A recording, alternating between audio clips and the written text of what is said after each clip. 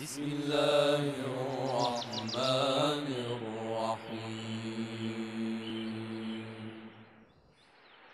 ولا تجهر بصلاتك ولا تخافت بها وابتغ بين ذلك سبيلا.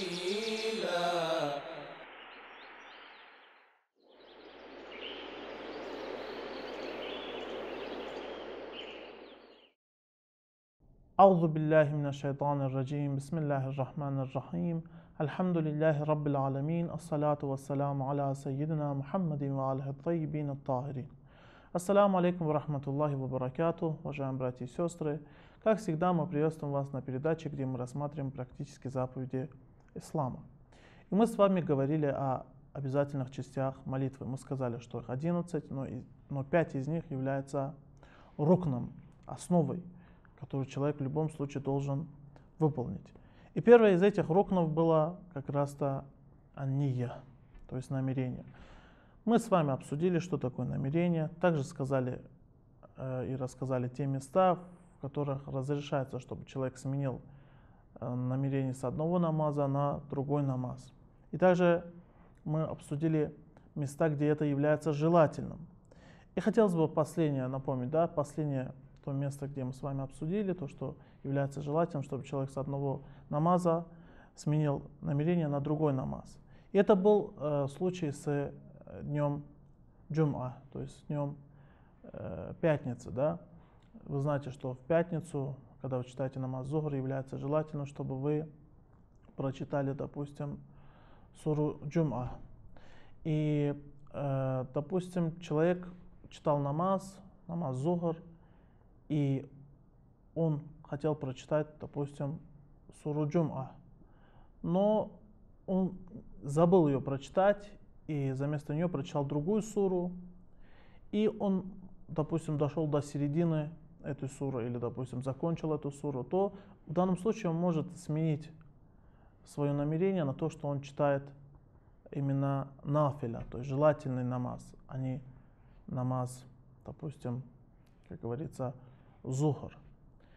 И после этого, после того, как он прочитает нафиля, после этого он может, ну, естественно, уже должен, так как зухр является ваджибом, прочитать намаз зухр, но уже с э, сурой джум'a. Это является желательным, то есть этот переход, это действие, это все является желательным, да, вот. И сегодня мы с вами будем говорить о такбиратуль ихрам, то есть Э, что такбир тулихрам, мы сейчас с вами как раз-то и скажем. Ма'на такбира тулихрам ва хукмуха.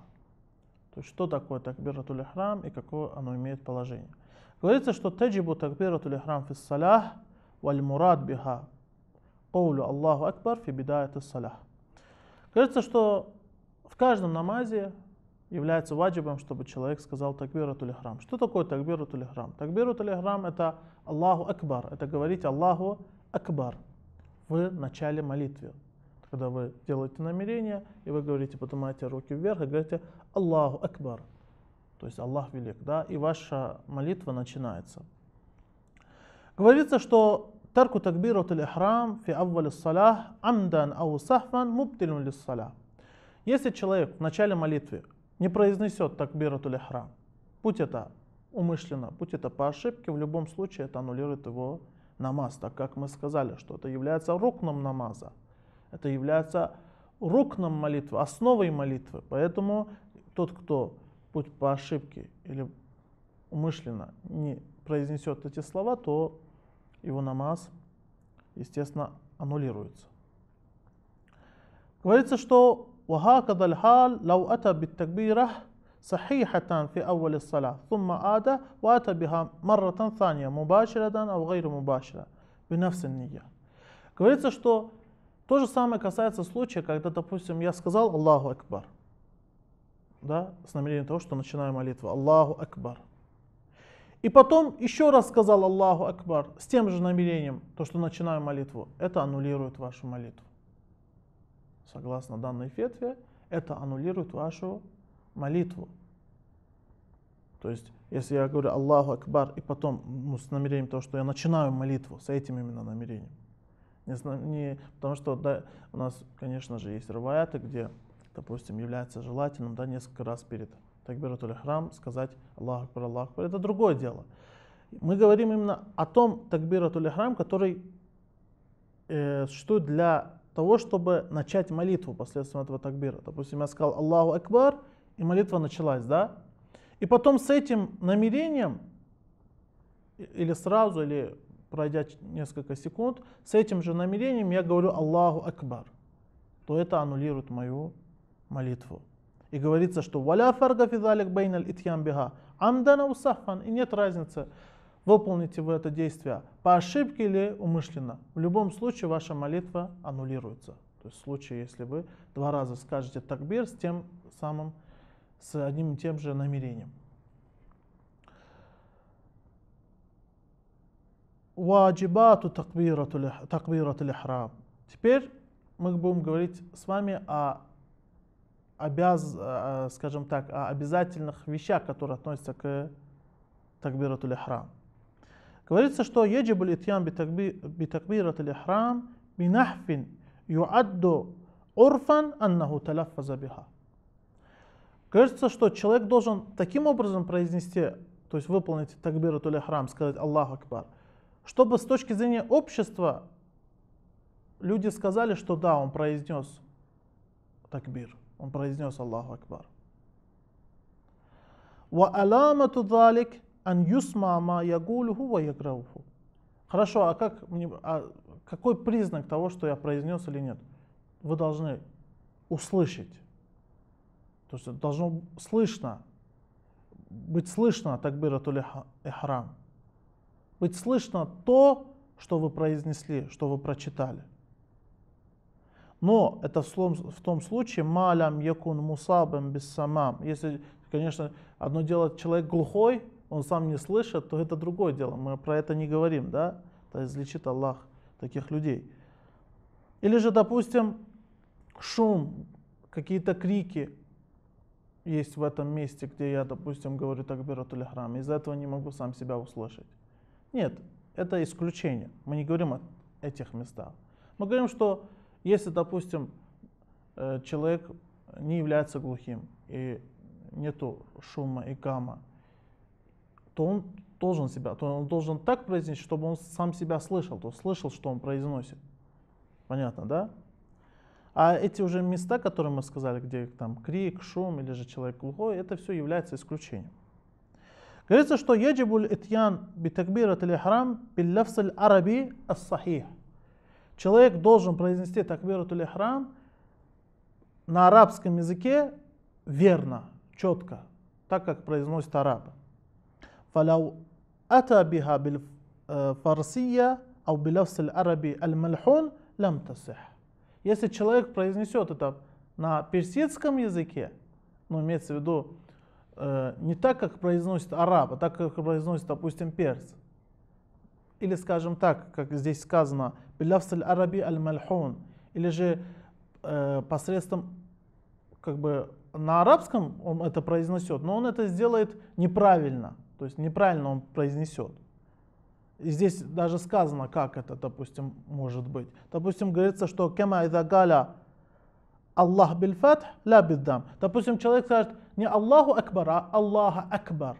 Это является неправильным, это является ошибочным. Человек должен сказать Аллаху Акбар. А он говорит Аллаха Акбар. Это является неправильным. Вот. И, естественно, если он так это произнесет, то его такбирут или храм считается неверным. И, ему надо а, заново совершить намерение и, как говорится, заново сказать такбирут или храм. Ну, намерение, конечно, ему не надо заново совершить, так как у него намерение-то верное. Надо будет заново произнести ему такбирут или храм. Говорится, что «Ида кан аль-мусалли джахилян би кейфият таляффуз» الصحيح لتكبيرة الإحرام فيجب عليه تعلم ذلك فإن لم يقدر على تعلم فهو معذور Допустим, говорится, что э, человеку является, если, допустим, как здесь говорится, если человек не знает, как правильно произносить, допустим, такбиратуль храм, то является обязательным, чтобы он научился это, этому, как правильно произносить. Но если он не сможет научиться, то в этом нет ничего предосудительного, ничего страшного. Да? Человек, допустим, э, не смог научиться, не смог научиться правильно произносить, скажем так. Вот. Теперь то, что касается следующего положения. Говорится, что «Яджибу халя латьян битакбират храм ан якуна э, бадануху мустакарран мутмаинна». Говорится, что в то время, когда человек произносит Аллаху Акбар, его тело должно быть неподвижным, спокойным. То есть вот спокойно встал, говорит Аллаху Акбар, да? И говорится, فَلَوْ أَتَى بِتَكْبِيرَةِ الْإِحْرَامِ حَالَ تَحَرُّكِ بَدَنِهِ عَمْدًا وَإِخْتِيَارًا بَطَلَتْ صَلَاتُهُ И если человек произнесет Аллаху Акбар, в то время как его тело будет подвижным, и он это сделает умышленно, или же, скажем так, произвольно, да, то его намаз аннулируется. Но если он это сделает непроизвольно, неумышленно, то в этом нет ничего страшного. Вот. Уважаемые братья и сестры, я думаю, смысла нету зачитывать новое положение, так как наше время подошло к концу, поэтому мы вынуждены с вами прощаться. Но на прошлом, точнее, прошу прощения, на следующей передаче мы будем с вами говорить о сомнениях, которые возникают во время такбирут или храм. А сейчас я вынужден с вами прощаться.